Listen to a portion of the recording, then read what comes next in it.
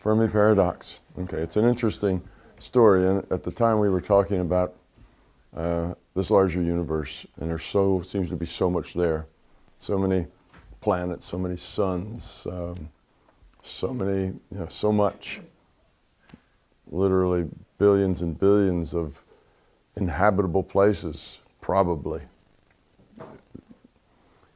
Enrico Fermi is a physicist, uh, a well-known physicist in the 40s and 50s and 60s too.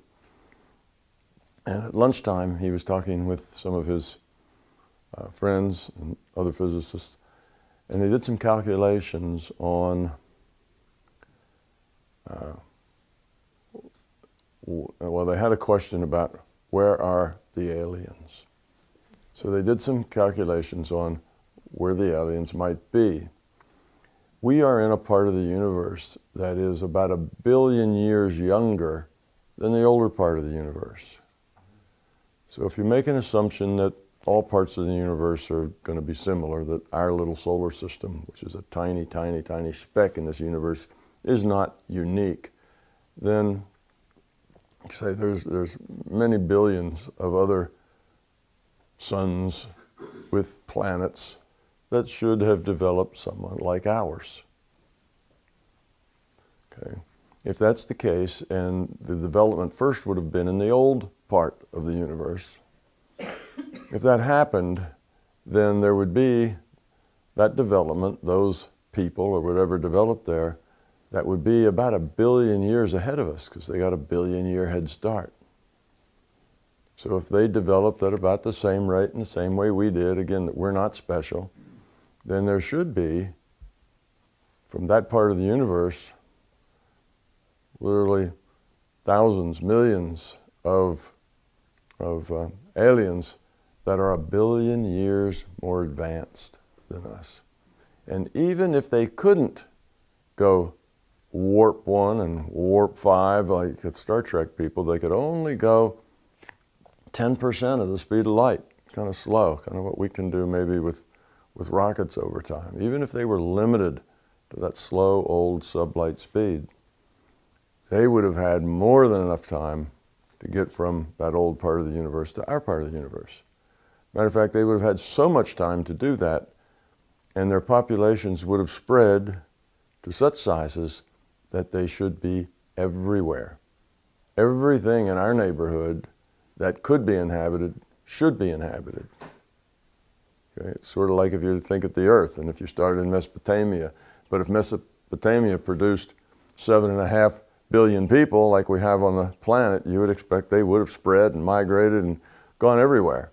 There'd be no place where there weren't people. And because we have very sensitive equipment that for some years has been looking uh, for signs of life elsewhere, and that if indeed our galaxy is, should be overrun, if you will, with populations from these very advanced people that are a billion years ahead of us, then where are they? Was the question that Enrico Fermi came up with. So they did all the math, all the probability, and it turns out that the Fermi paradox, the paradox is, where are they?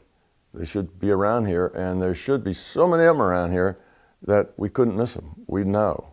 We'd have some kind of signal, some kind of sign, because they're in the same universe we're in, which means they have the same material stuff to work with that we do? Well, one of the, one of the uh, answers to the Fermi paradox is, well, they're hiding. And the answer to that is that that's nearly impossible. It'd be hard for that kind of civilization everywhere to hide from us. Yes, maybe from us 200 years ago, we couldn't look very far or see much. But to be hiding is improbable. And the other idea is that, well, they're avoiding us, not only hiding, but avoiding. But with that much population and that many people, to have all those people all obedient to the same rules and nobody ever makes a mistake or does something they shouldn't have done or makes a contact that they shouldn't have is again very unlikely because we're talking about many, many billions, if not trillions of beings should be spread all over our space by now. So, if you go to um, Wikipedia and, and uh, look for the Fermi paradox, you'll have all this written out. And scientists and other people have put up solutions. And there you'll see about 10 or 15 posted solutions. And the people who do logic and mathematics have pretty well decided that none of the solutions are really very strong. It's not that they're impossible, they're just not very strong as far as the probability goes. And that the Fermi paradox is very strong. Now, of course, there's a lot of assumptions here that uh, evolution took place elsewhere just about the way it did here. And the rate of our development was just about the rate at any other development. So it's kind of making a model out of us and saying that everywhere else got along about the way we did, that we're not exceptional. That's the, that's the fundamental idea here. But what I wanted to share with you was a, a viewpoint of virtual reality here. Virtual reality, we only get in our data stream that information that you know tells us about our reality in this virtual reality, in this whole universe that I'm talking about with all these supposed aliens in it that aren't here or don't seem to be here. That this is a data stream place. It's all the same universe. It's all the same VR. We think that the all the rest of space has so much there that it would be a terrible waste for just this one little sun and this one little planet to have all the life there is and all of that. That's sort of a problem. And most scientists say, yeah, well, that means the probability is high that there's life elsewhere because all of this stuff. But see, from a VR perspective, there's not all of this stuff. None of that stuff out there exists all those suns, all those planets, none of it exists unless you look at it. Well, we have our telescopes and we may look at a piece of it for a minute or a few seconds and then we look someplace else. Well, when that minute or few seconds we get some data, that's it. The system doesn't have to render any of that until somebody looks at it.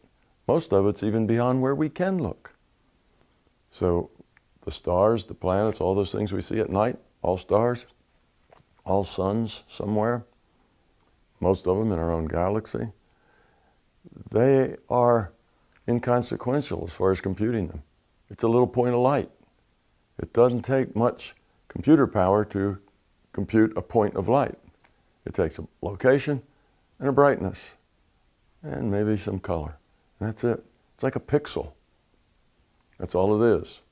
So all the rest of that universe what we can see only has to be rendered to that group of us that is awake at night when there's no clouds.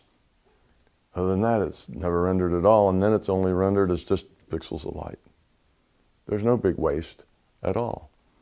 The other thing to consider is the larger consciousness system creates IUOCs, and it creates a lot of them because you know two or three have a pretty good conversation but more and more that's the more you can mix things up. It's the more um, novelty you can get from the interaction of these IUOCs but there's a limit. Every IUOC has to be fed a data stream. Every one has to be updated. You know there's computer power required to follow all all the IUOCs and then all their avatars in their games. So there's a, there's a computational load required.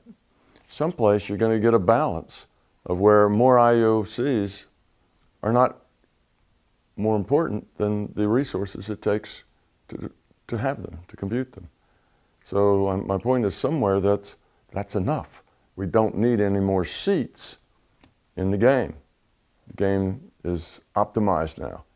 It's got all the seats that make a difference. You add more seats, and it doesn't really add that much more to the game. To the and by game here, I mean the whole larger conscious system. It doesn't add that much more to it. But everyone has to be fed. It takes power and resources to feed every individual here. So the point is, how many seats are needed in this virtual reality. This virtual reality, our universe. Seven and a half billion seats, enough? 10 billion seats? You know, 20 billion seats? How many are enough for the system? So that comes down then to a, a new answer, a new solution to the Fermi paradox. Where are they? They don't exist. We are it, us, this little planet, this little sun, and this little solar system. One minute speck in this virtual reality. But that's all that's needed. That's all the seats necessary in this virtual reality. And all the rest doesn't take any computation at all. It's not like it's a big waste. It's not a waste at all because it's never has to be computed. We look and we see, but then that's a very simple thing to compute and then we stop looking and it's not computed. So that's something to think in the opposite direction instead of, well, there must be aliens because there's so many suns and so many planets. Well, maybe not. So it doesn't mean that what I've just said, that's a fact. It's not a fact. There's lots of assumptions here. The assumptions that other places in the universe are uh, evolving like we did. You know, that may or may not be true. So Fermi had a lot of assumptions that any one of them could be wrong. Maybe they're so evolved that they never touch energy that we can measure like electromagnetism. They never make, uh, they never send out particles or energy. Maybe their, their whole source of energy is so advanced for us that there's no footprint that we can measure, and that's why we don't see them. You see, so there's, there's assumptions here. So it's not that uh, for sure we're alone, but the idea is this, the whole universe and all that's out there may not be anything more than points of light in the dark, a trivial computation, and that the system just doesn't need any more seats than what it's got right here. And that we are special in the sense that you know, this is the output for that whole virtual reality. So why would it evolve all that virtual reality? Well, that's just what comes out of the, of the, of the computer code. All that potential comes out, and then this gets seeded, if you will. We develop avatars, and there doesn't need to be anything else. I'm not advocating for one choice or the other. I'm just saying that there's another possibility that we are alone. And the reason that we haven't seen them is because they don't exist.